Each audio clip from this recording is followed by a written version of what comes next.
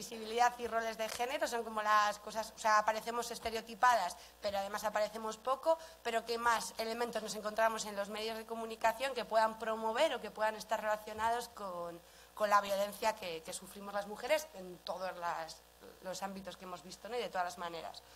Pues uno que nosotras entendemos como clave es el mito del amor romántico vinculado además a la heterosexualidad obligatoria.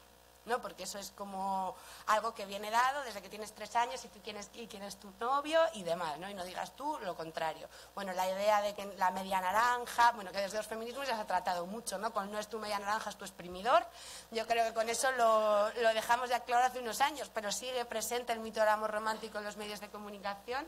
Eh, la idea de que el amor todo lo puede, además, y que no es una crítica ni muchísimo menos al amor, que es algo maravilloso, que como seres humanos nos hace muchísimo mejores y, y, qué sería el mundo sin el amor, ¿no? Es esta idea de que las mujeres, ¿no? Si no tenemos una pareja, si no logramos enamorarnos, casarnos, tener criaturas, vamos a estar eh, completas de alguna manera. Y esto además es muy curioso porque se ha trasladado también al ámbito de las lesbianas. Hice mi tesina sobre analizando cuál era, cómo aparecían las lesbianas representadas en los medios de comunicación en la ficción y lo que se veía es que las parejas que tenían más aceptación social, estoy hablando de ficción, ¿eh?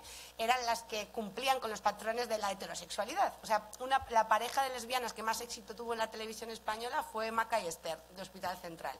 Y Maca y Esther lo que hicieron fue conocerse, enamorarse profundamente, obviamente tener una relación monógama.